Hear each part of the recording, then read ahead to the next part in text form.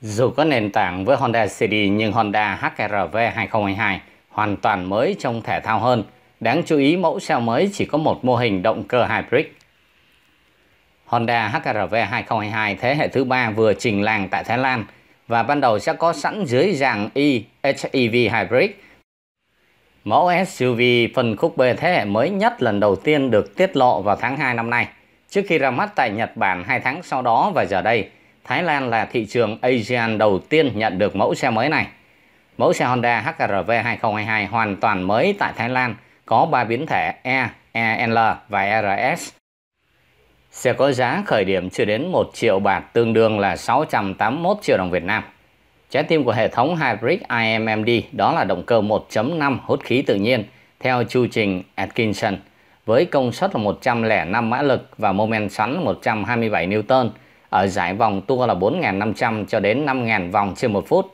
Động cơ DOHC Oil VTEC kết hợp với hộp số tự động ECVT với pin là lithium ion và hai motor điện. Tổng cộng này xe có công suất là 131 mã lực và mô men xoắn cực đại là 253 Newton ở giải vòng tua từ 0 cho đến 3.500 vòng trên một phút so với CDE HEV. Động cơ 1.5 của Honda HRV 2022 hoàn toàn mới, sản sinh nhiều hơn 7 mã lực trong khi motor điện tạo thêm 22 mã lực nữa. Ở tại thị trường Thái Lan thì HRV EHEV được bảo hành 3 năm cho 100.000 km. Tuy nhiên hệ thống Hybrid được bảo hành 5 năm không giới hạn số km và pin được bảo hành 10 năm không giới hạn số km. Biến thể RS thể thao của Honda HRV 2022 hoàn toàn mới trang bị lưới tản nhiệt phía trên dạng tổ ong mạ rôm với logo RS. Trong khi đó, lưới tản nhiệt phía dưới gồm các thanh nan ngang có điểm nhấn màu đỏ và cánh trước màu đen bóng. Màu đen bóng tiếp tục được áp dụng trên vòm bánh xe, ốp khí động học hông xe và cản sau. Điều đáng chú ý đó là biến thể RS trang bị lan răng hợp kim 18 inch, 5 chấu kép màu xám, lốp chỉ số là 225 trên 50. La răng này rộng hơn 1 inch so với phiên bản 17 inch 6 chấu tiêu chuẩn, lớp 215 trên 60. Ngoại trừ biến thể RS thì các biến thể còn lại của Honda HRV 2022 hoàn toàn mới, có trang trí giống tấm ốp bảo vệ gầm màu bạc ở cả hai đầu xe. Điều thú vị là HRV đang đi ngược thế là la răng hai tông màu và đen hậu tối màu. Honda HRV RS đi kèm độc quyền với thân xe màu Ignite, Red, Metallic và mui xe màu đen. Trong khi đó thì bốn màu còn lại đó là màu Platinum White, Pearl, Premium Sunlight Wiper và Meteorite Ray Metallic Restore Blackbird và sẽ có sẵn tất cả các biến thể về nội thất thì biến thể RS được bọc da màu đen với chỉ không màu đỏ khá là nổi bật. Dù là có cùng nền tảng với CD mới nhất nhưng HRV ngắn hơn, rộng hơn và thấp hơn.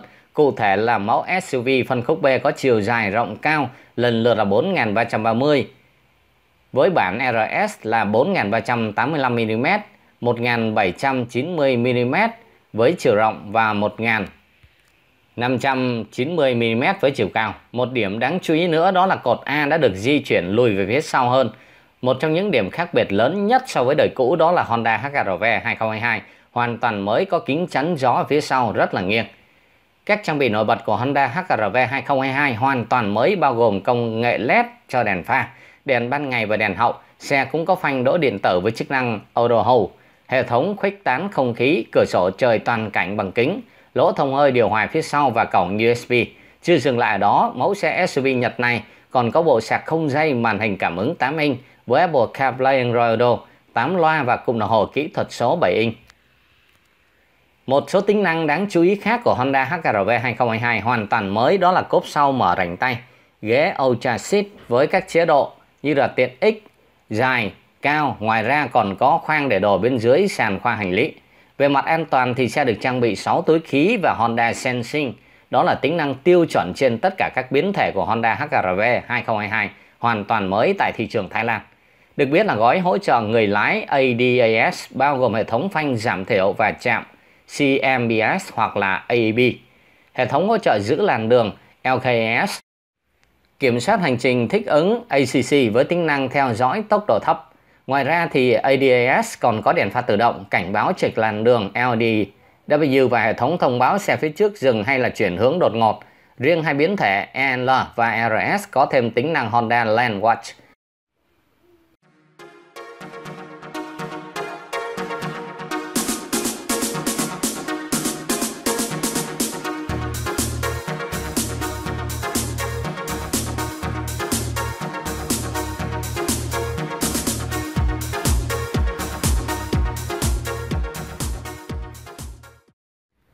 Kia đã có một khởi đầu thành công sau khi đưa Seltos gia nhập thị trường Việt. Đó là một thế hệ sản phẩm mới. Xuất hiện đầu tiên tại thị trường Việt và sự xuất hiện của Seltos đã đánh dấu một bước chuyển mình mạnh mẽ của thương hiệu đến từ Hàn Quốc. Và ngay sau khi mở bán thì Kia Seltos đã nhanh chóng gây bão ở trên thị trường với lượng đơn đặt hàng tăng đột biến. Những phản ứng tích cực của khách hàng giúp cho Kia Seltos có địa vị vững chắc trong top 10 xe bán chạy nhất ở tại thị trường Việt và đưa thương hiệu Kia đến gần hơn với khách hàng Việt. Và đây chính là bước khởi đầu tạo ra một tiếng vang cho Kia nói chung và sản phẩm thế hệ mới nói riêng.